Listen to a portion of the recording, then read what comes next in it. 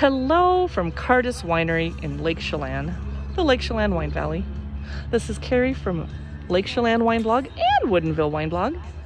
And I'm really torturing you with this beautiful view of the new hastily thrown together patio at Cairdeas. They now have two patios because of course with social distancing, we need to keep a little separate. Wanted you to know that they have umbrellas set up because it's very hot today and sunny. There's a gorgeous view clouds. We are running through their tasting menu and basically we're not saying no to anything she'd like to pour in our glass. Uh, we started off with the Grenache Blanc that was phenomenal. I was particularly excited for the Nellie Mae, which is named after the winemaker's grandmother. I had the 2019 Marsanne, which I have not tried yet. Very good. I'm not, I don't know very much about Marsanne, so I'm glad to taste more of them. The 2019 Rosé is a Rosé of Syrah and Grenache, just about 50-50.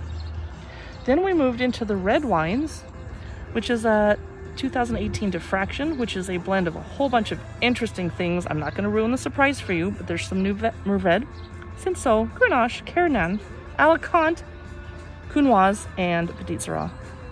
There's a Cinsault here that my friend is dying over, a Concrete Syrah, a Cuchelin and Papa, which is a Grenache, Mourvedre, Syrah, Counoise, and Cinsault with huge percentages, at 11% Counoise, 10% Cinsault, unheard of.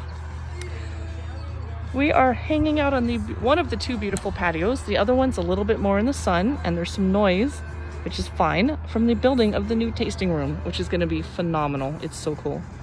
If you are coming out to Lake Chelan, I would definitely recommend come to Cairdeas. I feel safe here, it's clean. I've been watching the tasting room manager just sanitize the heck out of everything.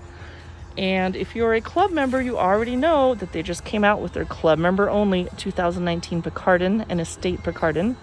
And the sparkling Clairette Blanche, and I'm actually sitting next to the grapevines for the Clairette Blanche.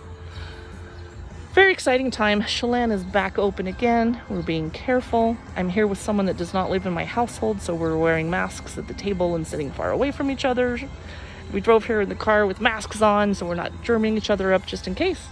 And look so many exciting things going here at Cairdeas. Thanks for watching. Please follow Lake Chelan Wine Blog on Twitter, Facebook, Instagram, YouTube, whatever your favorite platform is, we're probably there. Thank you so much. Bye.